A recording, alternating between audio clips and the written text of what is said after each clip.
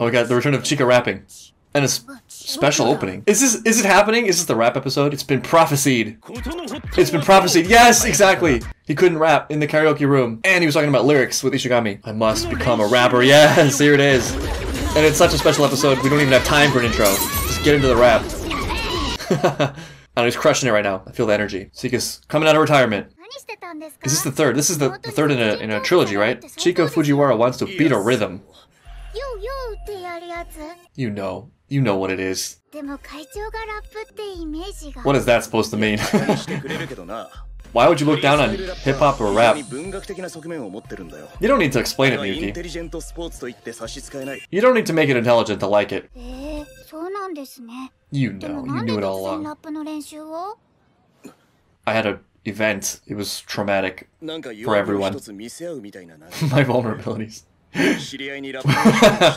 That's my deepest vulnerability, rapping. And she said it wasn't the rapping, which made it clear that it was. Well, this really made an impression. You know? I really felt it that episode. I really felt the chemistry, which is weird to say in a show about him and Kaguya, but lyrically.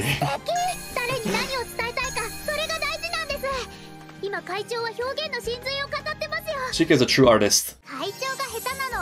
Oh no.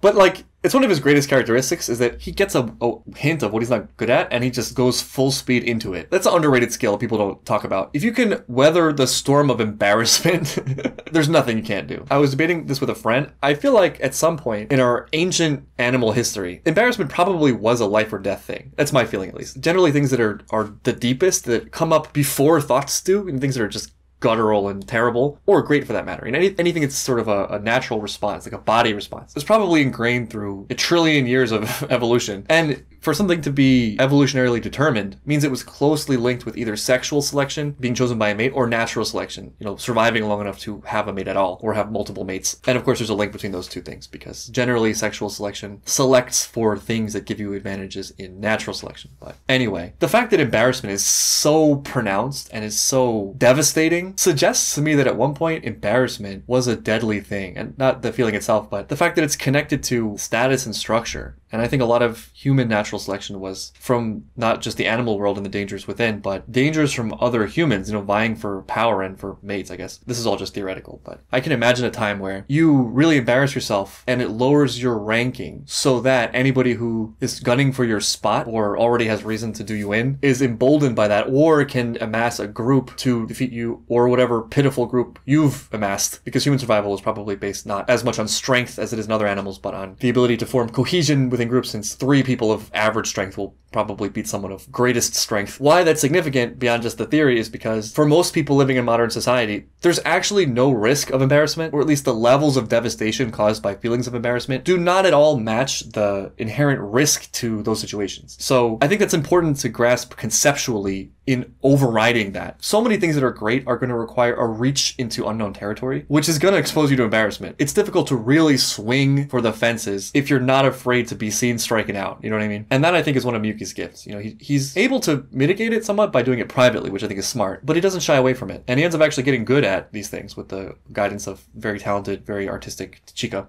それよりも会長の胸にある素敵なものそれをその人に伝えることの方が大事です藤原早速聞かせてみてくださいよ I am 会長の intrigued and terrified. は I'm so excited and scared. Death. Oh, for real? Uh, I think I, will be alright. I'm gonna take the risk.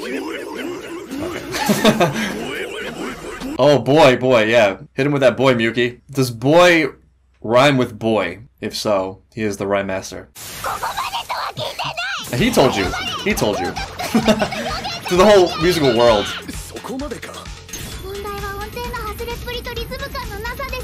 And also the fact that you just said boy a hundred times. Ooh, this is a uh, combination of the two previous skills. This is the last boss, maybe. There they are. Yeah, speaking of bosses. That's what I'm saying. Can you text a rap? I just like snotted all over myself. and then wiped it with my hands. There's no going back now. Oh no! It's like Zuko going out alone without Iroh. Necessary. We're み gonna learn せ this ます together, よ just like Zuko and Iroh. These montages. Lyric notes. She sells seashells by the seashore. I could use some diction practice myself. It's not rapping unless you're moving your hands like this. ここは私立周知院毎日通うルーティンそろそろ試験なんだけど I'm uncomfortable. ラップという単語は会話という意味を持つ it does? 素直に思いの丈を吐き出せそれがヒップホップだ 思いの丈を素直に Ooh. Ooh, s- a sweat drop. 一体全体我慢の限界偽り散々見下り犯じゃ朝のリズムとんでも Oh, damn. This one's a diss track real fast. oh, wow. Wow. I feel like if she had a mic, she would drop it. Just really wanted to get that out. 今までありがとうございました We had an arc so quickly. じゃあ次は俺にラップを教えてくれ I mean, whatever gets you there. This is a yeah, weird cycle of them like creating nothing out of something. Impressive. The universe manifests itself. Even his laughter is offensive. Wow, she really said Mother Xer. Let's do a whole episode on this.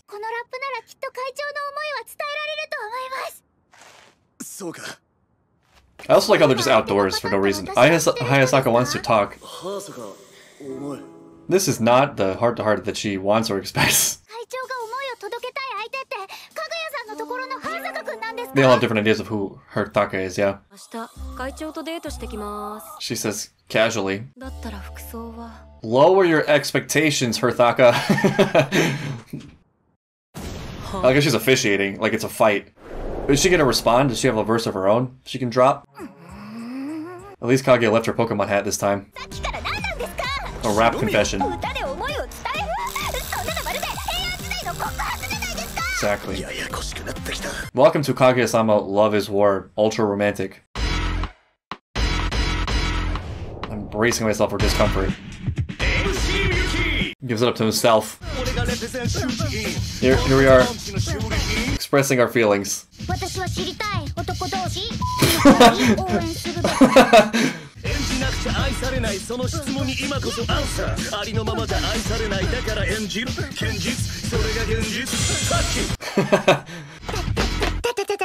really practice, huh? Chika's actually a great backup. it's amazing. Well, we definitely expressed something. I got through. I mean, she had context. It's gotta hurt being the only one who doesn't get it. Oh, there's another one. Some people quit while they're ahead, but, you know. Wait, hold on, we got a verse for this. We got a misunderstand, don't misunderstand me verse.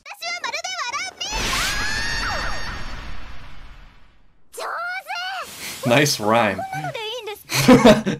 I don't know. This episode is overwhelming. I need a break. Hayasaka needs to rap. You are a blue ass. what does that mean? I have no idea what that meant, but I'm insulted and also slightly flattered.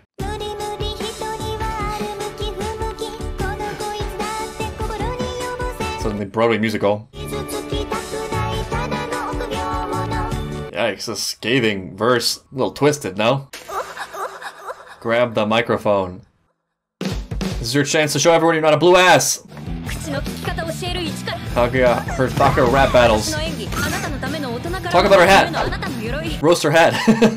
私もしたいのに甘酸っぱいのかぐや様が羨ましい Ooh. 私もしたい青春っぽいこと私も欲しい男友達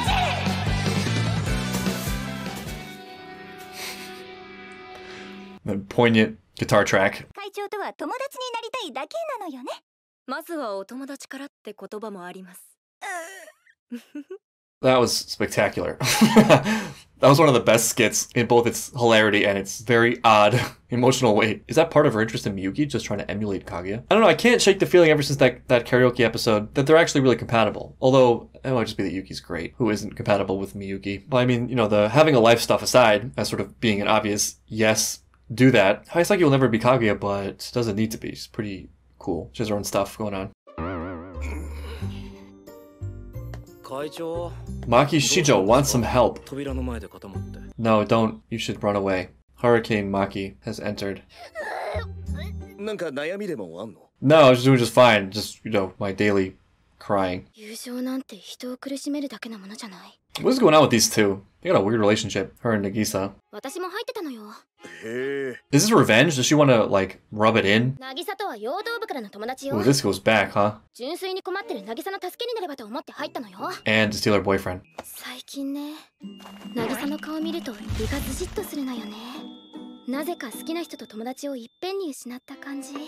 I get the bizarre feeling that Nagisa enjoys it. I also think for Maki, well, I get the urge or the compulsion to kind of keep putting yourself in situations where your heart is this active, like a deep crush or a similar level of romantic obsession, not being able to turn away and, you know, throwing yourself into it again and again. There is a lot to be said for just leaving. You know, just leave. That solves the problem. It's like if you have an ex and they have a Instagram or Facebook, you know, you tell yourself you're going to keep it because, you know, why burn a bridge? Just delete it. You know what I mean? You, you're going to end up staring at it and just the way the universe works, especially the way exes work, the time you look at it is going to be the exact time he or she's having the greatest moment of their lives without you and there's a shadow of another guy in the frame. You know what I mean? It's just going to drive you insane. And not seeing it would have made you no worse off. It's like one of the rare cases where I'm like, yeah, just hide from the truth. Well, I mean, it's not hiding from the truth because the full truth is that people are moving on. Your exes are moving on. Your exes are sleeping with people now. Your crush has a crush, you know? face that on an intellectual level, but you don't need to like rub it in your own face. Like, don't do that to yourself. Just not having it near you solves so much of the problem. 笑うと嘘をついてる気分になるんだ女の友情って脆いものよね I don't know if this is a friendship, but this is a dicey situation for everyone. あの人のどこに惚れる要素があるんですか It's the blonde hair. Also, his grades are rising, and I guess some people like that. 二度と翼くんの悪口は言わないで あの人翼って名前だったんだ I didn't know his name. 天使って名前で登録さ Uh, れ to て be た fair, yeah, it's true. I, I didn't know that either. 初体験ああ銃のことね No. 別にそのくらい何でもないわよもう何度か見ちゃってるし That's kind of sad, actually. ゴニョゴニョ Bonyo bonyo. 何言ってるのよ渚と翼くんは高校生よ Yeah, no, no high school students いや ever. 高校生でも3人に1人はしてますよ Yeah, we established this statistic. 私には渚がサタンに見えるわ友情と恋愛実際難しい問題だよな Here's another useless tip. when you're making friends, only make friends with people who have widely different tastes than you in romantic partners. Anybody who has the same taste as you, out immediately. It's only going to be suffering and heartbreak. もし石神が篠宮と付き合うことになったら俺は Oh, wow. 三角関係かもし会長とツバメ Oh, I thought he was imagining Kaguya too. See, this is why this works, because they like different girls. そりゃとっとと告白しなかったからですよ恋愛はスピード勝負 Miyuki, 好きになっ Are た you ら listening? そこを告白すべきなんですよ Miyuki, are you in the room right now? This is rich. This is rich for both of them. High horse, etc. 告白なんて怖くてできない That's not why. It's not terrible advice, but it's also not good advice. as far as we've seen, the reason why Tsubasa, as he's now to be known, and the other girl got together is because he kabedoned her. He liked her first. Why did he like her and not Maki? Well, we don't really know for sure. We didn't really see the build up that much, but probably had something to do with just what he likes and what he needs in his own life as a person and what he's attracted to. And there's nothing that you can do about that. It's not the focus because that's not where the locus of control is. The locus of control is on her. I, like, this is speaking of high horses, me on a horse that I can barely reach. The more you can zoom out and realize what the thing is at root instead of the face it wears at any given moment, the more likely it is that you're going to get what you need. It's definitely true for dating. I would wager a, a big guess that in all these sorts of obsession based relationships, somewhere in there is a lie or a, a mistruth, which is that this person is the only vehicle from which to get something that you desire. That might just be because of a lack of experience or because it's actually rare. You haven't come across it. You don't know how you would come across it without this thing that's right in front of you. It's the bird in the hand is worth a thousand in the bush or whatever. But if you really think about it, the bush is where all the birds are. There's lots of birds in the bush. And that might sound kind of cold and callous because there's something really special about knowing someone as an individual and seeing them as a unique individual and cherishing them as a uni- unique individual. But it's never the case that it's it's going to be only one person that can give you the things that you're looking for. In fact, nobody can give you the things that you need. No one was ever made whole by a relationship. You know, a relationship can just be a great facet of a rich life. And definitely not saying I've maintained this my whole life, but if you're going to pursue this kind of really deep, romantic, passionate fairy tale love, don't you want someone who feels that way about you? I've been on both sides of this equation. I've been in relationships where the other person was the only one for me, or so I thought, and it was clear that I wasn't on that level to them. And I've been the one for someone else where it wasn't that to me. And both are difficult. If I had to choose, I would honestly choose the one where I am enamored with the other person more than they're enamored with me because I get to experience that and it's a, it's a great feeling. But you got to be in a really honest and secure place with that where you you kind of accept that and you're you're okay with that dynamic. And I don't think there are many people alive who can stomach that. It's it's going to creep in knowing that the other person isn't at that level of depth with you that you are with them. I'm sort of all over the place. I'm of two minds here because the practical side of me wants to say think bigger, move on, just remove yourself from this whole equation, detach from this node to open it up for something else to fill it. The other part of me is a dreamer and is obsessed with not following the status quo and doing things despite the odds and following your heart no matter what. But I think either way, there's a more fundamental thing at hand, which is dispensing with some of the lies and illusions that exist in this whole fantasy. As I said, I know the feeling of being Maki and getting Tsubasa. And that was the beginning of the story, not the end. That was the beginning of the heartbreak. a glorious, beautiful, passionate, long heartbreak full of greatness. It's so confusing. At any rate, a confession wouldn't solve anything, as I think we've established.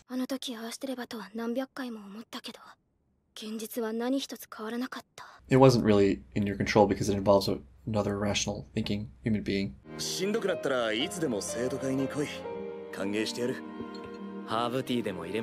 This time, or next time, you can cry on the couch instead of the floor. Maki's has been winning every episode she's in so far. Oh, we got another special ending. Nice. Rap themed? Performance themed? I like the different art style. hey, Ishigami's there too. It'd be cool if there were subtitles for this, oh well. Hey. I feel like she's natural. Chika's just the, the crusher of, of uh, episode endings. This is a, this is a actually really cool song. Even not knowing the lyrics, I like it. Like this is a song I would listen to. Hey, pushes her way through the crowd, gets on stage, Cute. that was great. Didn't expect that at all. The show kills it with the little extras like that. Why do I feel like this is some darkness brewing with this little side trio here? What exactly is Nagisa's deal? She's Satan? She's not as innocent as she appears. She knows the deal. She knows that her friend is after Tsubasa, and she invited her to get closer. That's not a smart move. That is either just total ignorance, which I don't think is true, or it's like some real masochist or sadist? Sadist. Sadistic stuff. Look at me kissing the guy that you like all the time in front of you. Isn't it great that we're best friends?